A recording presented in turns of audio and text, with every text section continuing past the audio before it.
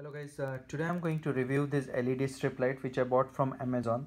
The manufacturer of this Amazon, uh, Amazon light strip is uh, Stripson uh, and the model on the Amazon is SMD5050. This consists of 300 LED flexible LED strip light and it is um, RGB that is red, green and blue. Total length is 16.4 feet which is equivalent to 5, 5 meter this you can use inside indoor or outdoor. So uh, which is pretty good thing.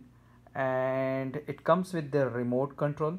This remote control allows you to select a particular light color and uh, different and it allows you to select the patterns. Total eight patterns are available in this particular model. Even you could increase or decrease the brightness of this uh, LED strip light using these top two buttons. Uh, pretty straightforward uh, setup. One end of this LED strip light will go to the controller box. It also comes with this controller box. Controller box has two wires. One is this socket where the LED strip light has to be uh, connected. That is this one.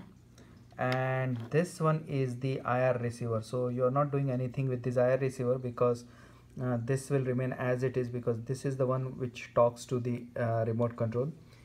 It comes with this power adapter and the cable. Uh, basically and the good thing about this uh, power adapter is this is a multi-voltage power adapter. That is it will work anywhere in the world 100 to 200 watts uh, 240 watts. Uh, so pretty much straightforward setup. So let me connect uh, uh, this LED strip light and show you some of the patterns. I'm little I'm very much impressed with the way um, the outcome of this LED light is.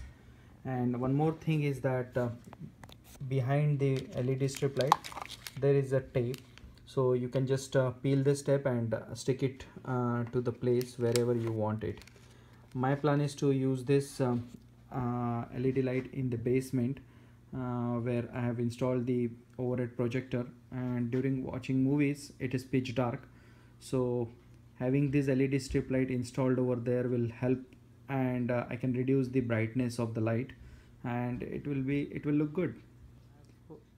Hooked up this um, LED strip light uh, to the power adapter and this is how it goes to the controller and it is uh, working fine. So currently I've set up it at white color you can change it to blue green red. You can and there is a on uh, option to select the auto mode. So in the auto mode automatically it changes the colors to different colors.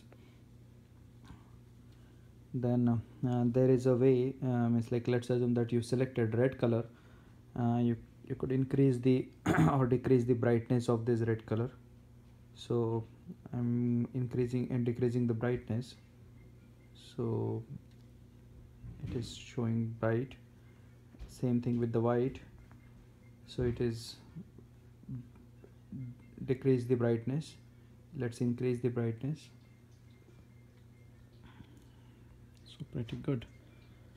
So thanks for watching uh, and once again uh, this is uh, the model number SMD 5050 300 LED lights flexible LED lights and this comes with the on the back side you'll see the tape which you can stick anywhere uh, you want to